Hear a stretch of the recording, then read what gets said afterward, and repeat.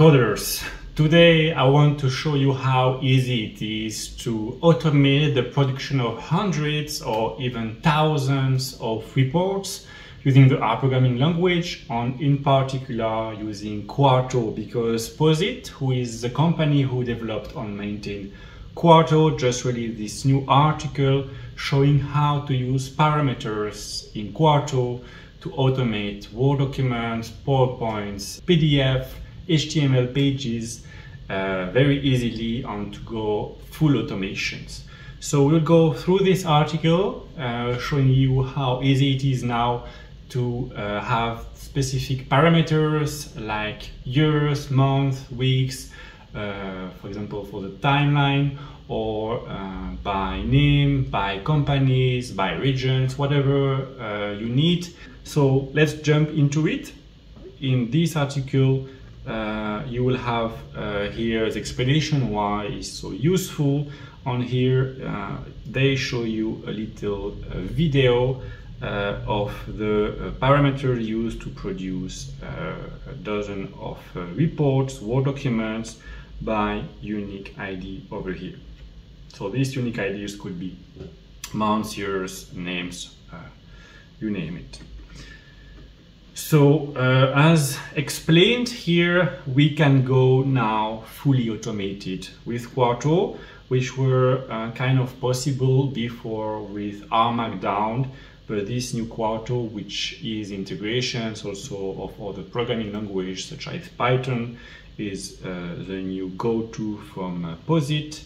Um, and uh, before we were more on these phases, now we can go fully automated. Uh, so here is a concrete example. If you have uh, want to create uh, for year, here you choose the year parameters, and uh, you want to create the report uh, for five different years. You can have your different Word documents or PDF based on this unique variable here, as explained over here. So as Quarto is uh, either R or Python, we will concentrate on R because I'm mostly using R programming, but here you have the code also if you want to use a Jupyter notebook.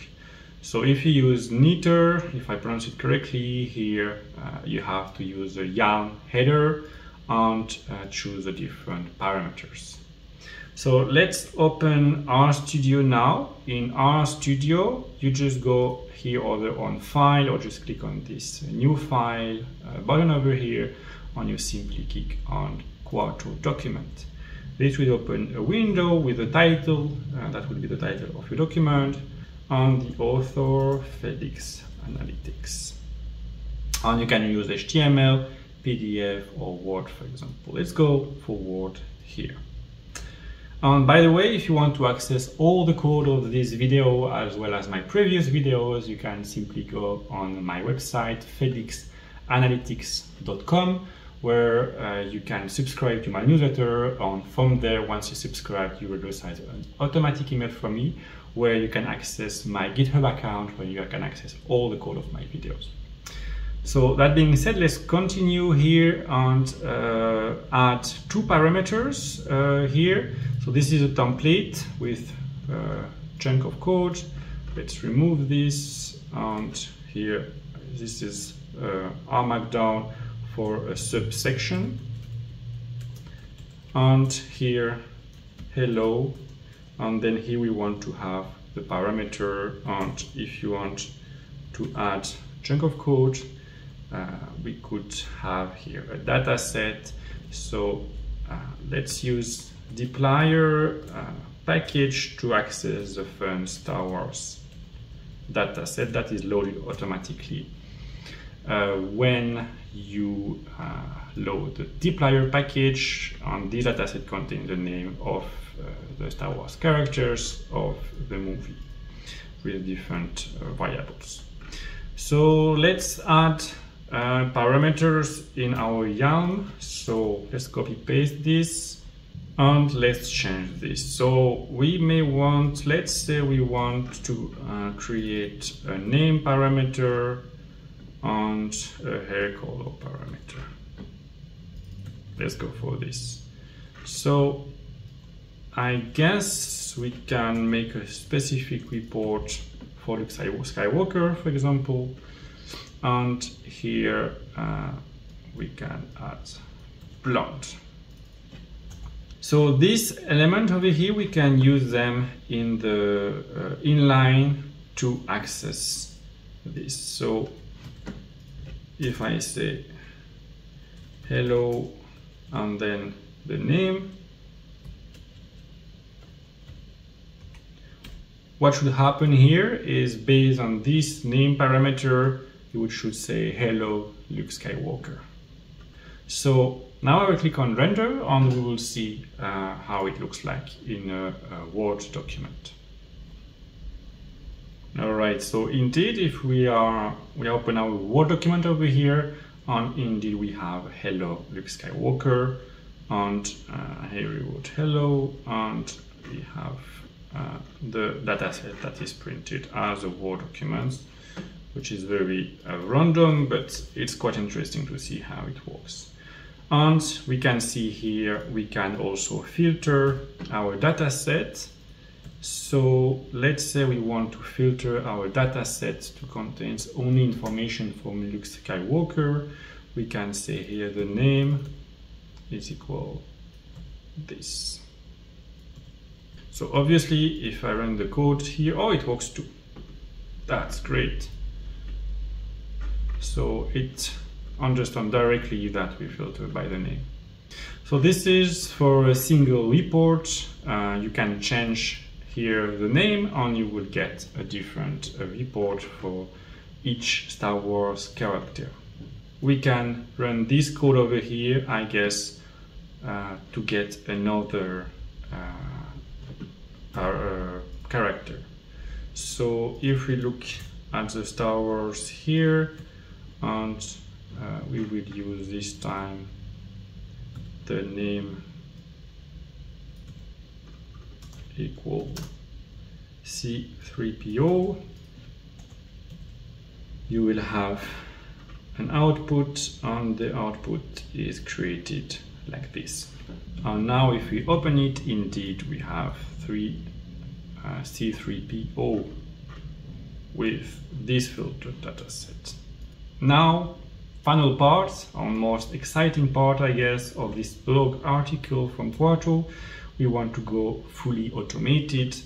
And I guess now our goal, we go to create uh, 85 uh, different reports for each character name with a specific hello and a specific uh, data set over here.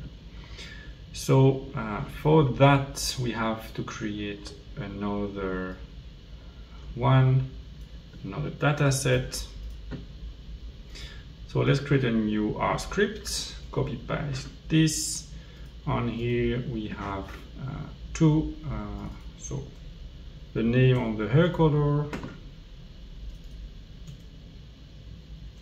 and for the names uh, we want to have all the unique names uh, of the Star Wars dataset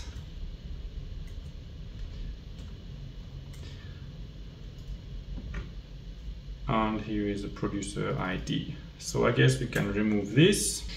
And if we want to add a specific hair color, let's say this is for your for a specific year for today.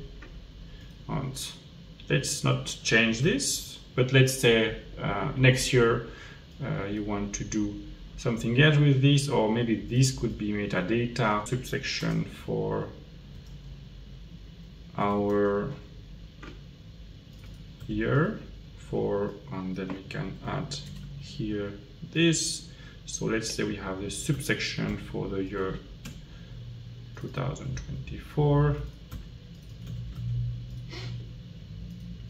we will keep the year here. So year. So now we have a data set with uh, all the names of our Star Wars characters. And here we will have to change uh, the uh, name on year. So this will create the name of uh, the file of the report. So uh, we are uh, in docx uh, files here. And here we will use uh, the map to from purrr so we have the name. And here the name. We'll remove this. Let's run this code. And if you have a look at the dataset looks like this with our old information with two, two new uh, variables output format and output files. And for the last one we can use pure. And we will run the code. And here as you can see in the R console uh, we are building the first report for Luke Skywalker, the second one uh, for uh, the next Star Wars character, and this will take around uh, 10 minutes. And all this was already possible with R as I said previously, but now it's possible with Quarto. So I hope this uh, video was useful. I wanted to share this amazing new feature of Quarto that has been recently released. Uh, I hope this video was useful. Uh, thank you so much for watching and I see you in another video. Take care. Bye bye.